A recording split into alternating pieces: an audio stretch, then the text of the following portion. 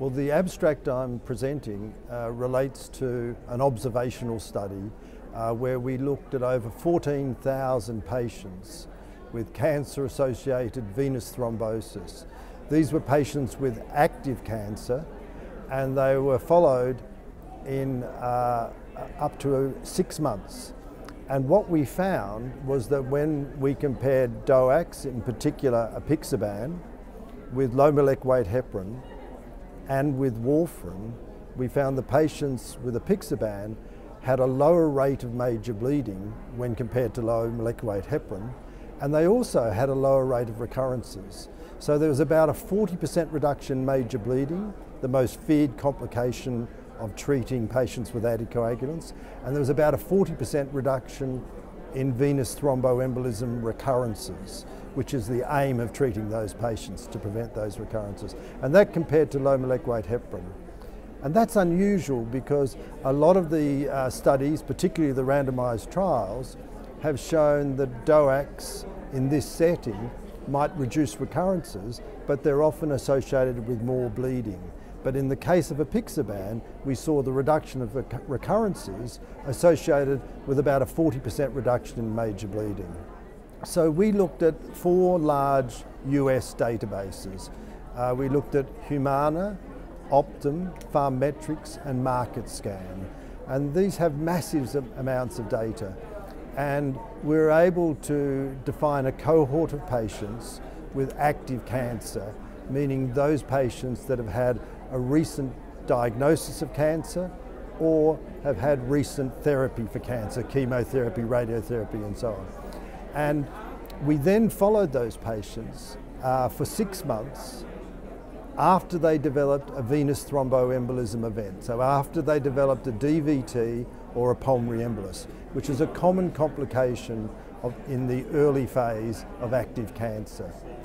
We then uh, carefully matched the patients so we used propensity score matching with inverse proportional treatment weights. And we got what we considered were three cohorts that were very similar. A cohort on apixaban, a cohort on low molecular weight heparin, and a cohort on warfarin. And we managed to match them for all the risk factors that would be associated with recurrences and bleeding. And then we analysed these patients using a Cox proportional hazards model.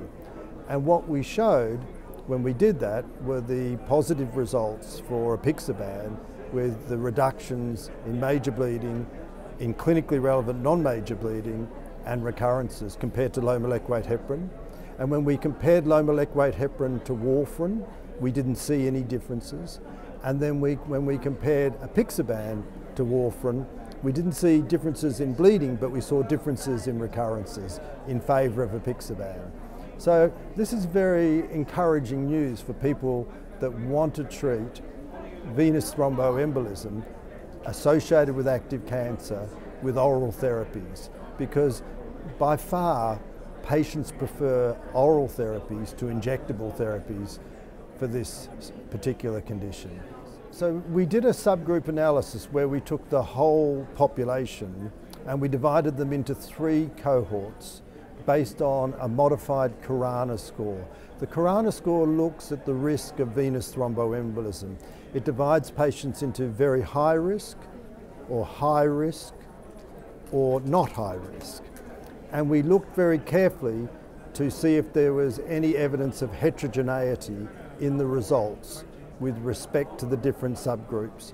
And first of all, we looked at major bleeding and clinically relevant non-major bleeding in the patients comparing a apixaban with low molecular weight heparin, in comparing a apixaban with warfarin, and comparing low molecular weight heparin with warfarin.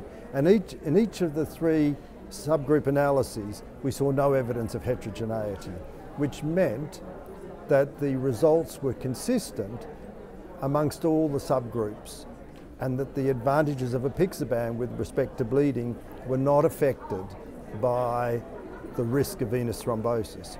However, when we came to recurrences, we did see some heterogeneity. We saw the main heterogeneity was where we expected to see heterogeneity when we compared low molecular weight heparin to warfarin. We've known for some time since the CLOT and CATCH study that patients at very high risk of thrombosis do better with low molecular weight heparin than with warfarin. And so we saw heterogeneity there where the advantage for low molecular weight heparin was clear in the very high risk of thrombosis group. There was also some heterogeneity when we compared uh, apixaban with low molecular weight heparin. Overall, it favoured apixaban, but when we looked at the subgroups, the advantage for apixaban was in the patients at lower risk of venous thrombosis, and those at very high risk had similar efficacy to low molecular weight heparin. Well, the clinical implications are very good for patients because, as I said earlier, patients greatly prefer oral therapies to injectable therapies, and we know that the adherence and persistence with oral therapies is much greater. Many patients receiving injections stop using them, and that affects outcomes. And if patients adhere and persist with therapies, then their outcomes are going to be better. They're going to have fewer recurrences. And in the case of apixaban, on the basis of this data, they seem to have fewer major bleeds as well. So that's really good news for patients. Well, one of the questions that is still unanswered is what is the optimal length of anticoagulant therapy? And we know that it's generally recommended by all the guidelines, both in North America and Europe, that these patients are treated for six months. And we looked at six months in our study. But should they get nine months or 12 months, and which patients would benefit from longer therapy. And we know there are other questions too. How do we manage patients with unusual site thrombosis? So thrombosis occurring in the splanchnic veins or in the intracerebral veins. How do we deal with catheter associated thrombosis in cancer patients? These are all questions we need to look into in the future. I, I think the striking feature of our study was that previous research with DOACs compared with low molecular weight heparin have shown advantages with respect to efficacy, but at the expense of safety in some patients where there's more major bleeding with the DOACs than with low molecular weight heparin. Our study didn't show that. Our study showed that we got the efficacy benefit with about a 40% improvement in recurrence rates, but we also got a safety benefit, and that distinguishes our study from other studies in this area.